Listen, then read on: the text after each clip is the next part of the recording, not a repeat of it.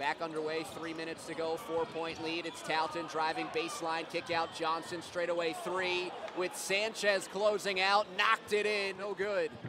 Four on four the other way as Antetokounmpo and Johnson are late to join the play. Talton hard drive to the right baseline. He lays it in plus 3.30 to go first half. Two point lead for the Vipers. Talton spinning on Barrett, fires a shot, hits the iron, then the glass, and falls through for a four point Vipers. Line out of bounds. Vipers into Talton.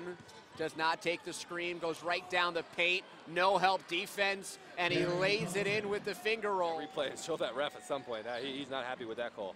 Talton probing the defense, gets underneath the basket, flips it in on the reverse. 59 51, the lead for the Vipers.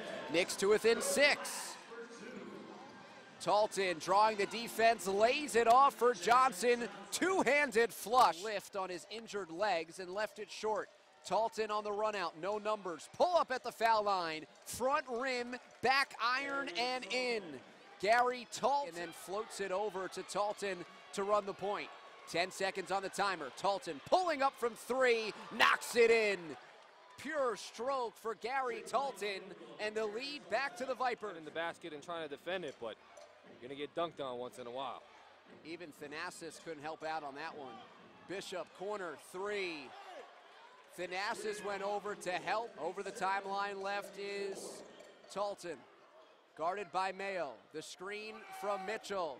Johnson set up for three, lined it up and knocked it down. Clock for Rio Grande Valley. That was the 30th three point attempt for the Vipers tonight.